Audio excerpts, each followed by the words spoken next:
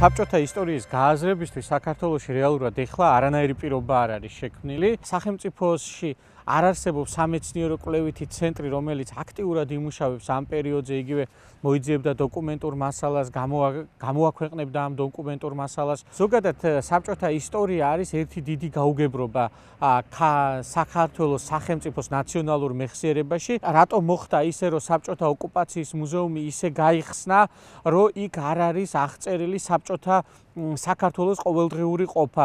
რატო არ არის აღწერილი ადამიანები, რომლებიც ძალიან კომფორტულად გრძნობდნენ საბჭოთა პერიოდში თავს. რასაკვირველია ამის აღქმა საზოგადოებისთვის ძალიან რთულია, იმიტომ რომ ამაზე არ ხდება ფიქრი, ამაზე არ ხდება რეფლექსია. ზოგადად შეკითხვაც კი არ არის დასმული, რატო სჭირდება ერს ისტორია?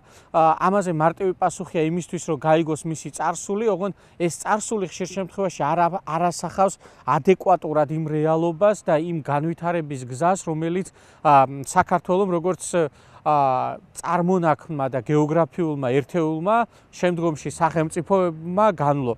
გერმანიის სახელმწიფომ გადაწყვიტა რომ მას უნდა გაეანალიზებინა ნაციზმი როგორც მოვლენა, ნაციზმის როგორც სტრუქტურის ანალიზი მოხდა და რასაკვირველია შეიქმნა ფონდები, რომლებიც ხელს უწყობდნენ მეცნიერებს, რომ მათ უშუალოდ დაეწყოთ ნაციზმის შესწავლა, ნაციზმის ანალიზი და ამის შემდგომ აკეთებდნენ ისინი კონკრეტულ დასკვნებს. 1945 წელს დასრულებული ომის შემდგომ დაახლოებით 20 წლის მერე დასვა გერმანულმა ახალგაზრდობამ შეკითხვა თუ ვინ იყო მათი მშობელი ნაციზმის პერიოდში. საქართველოს შემთხვევაში შეკითხვა არ არის დასმული როგორი იყო ეს საბჭოთა ისტორია საქართველოში, როგორ ხდებოდა ეთნიკური ჰომოგენიზაცია, როგორ შეიქმნა ის მოდელი ეკონომიკის, რომელიც გარკვეული ეკოთი დღემდე არსებობს. არ ხდება ცოდნა იმისა, როგორ შეიცვალა სოფლის ყოფა 30-იანი წლებიდან 50-იან წლებაში. როდესაც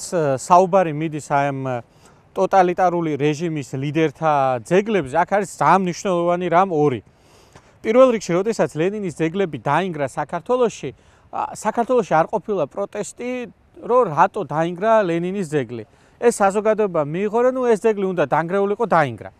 მაგრამ სტალინი ქართველებისთვის არ არის დღემდე მხოლოდ ამ მხოლოდ საბჭოთა კავშირის ლიდერი. სტალინი ქართველებისთვის დიდი ხნის განმავლობაში იყო ნაციონალური გრძნობების და ნაციონალური სიამაყის გამოხატვის საშუალება. აქედან გამომდინარე 2010 წელს, როდესაც გორში დაინგრა ჩამოიღეს ძეგლი, ეს იყო ძალადობრივი და გაუაზრებელი აქტი, იმიტომ რომ მათ ეგონათ მასში ხელისუფლებაში მყოფს რომ სტალინის ძეგლით ჩამოგდებით გადაიჭრებოდა ის პრობლემა რასაც ქვია აი ამ საბჭოთა სიმბოლიზმთან ბრძოლის პრობლემა. ჩვენ ვიღებთ იმ შედეგს რაც ხდება გორში როდესაც ადგილობრივი ხელისუფლების წარმომადგენელი პერმანენტულად მუდამ ამბობენ რომ ჩვენ ოდესმე ამ ძეგლს უკან დავაბრუნებთ ჩვენთან ხშირად კვლევარები აღქმული არიან როგორც სახელმწიფოს წინააღმდეგ მებრძოლი ლაშქარი რეალურად კვლევარი არ არის სახელმწიფო წინააღმდეგ მებრძოლი ადამიანი, ის უბრალოდ შეიძლება განსხვავებულად ფიქრობდეს ვიდრე ჩინოვნიკი და ეს ლოგიკურია. მიდგომა არის ესეთი, რომ შენ გჭირდება მორჩილი პროფესორა, მორჩილი ინტელექტუალები, რომლებიც სახელმწიფოს მთავარ კურს ლეგიტიმაციას გაუკეთებენ. არადა ევროპული აზროვნება და ევროპული ხედვა ამისგან ზუსტად იმით განსხვავდება, რომ კვლევარი უნივერსიტეტის პროფესორა აღიქმება როგორც ესენი არიან ადამიანები, რომლებიც ქმნიან ინტელექტუალურ პროდუქტს და სახელმწიფო ვერ ერევა მათ ავტონომიაში. როგორც წესი, მასშტაბლებლების პრობლემა არის ის პრობლემა, რომელსაც დამოუკიდებელ საქართველოსში ვერცერთმა ხელისუფლებამ ვერ უპასუხა.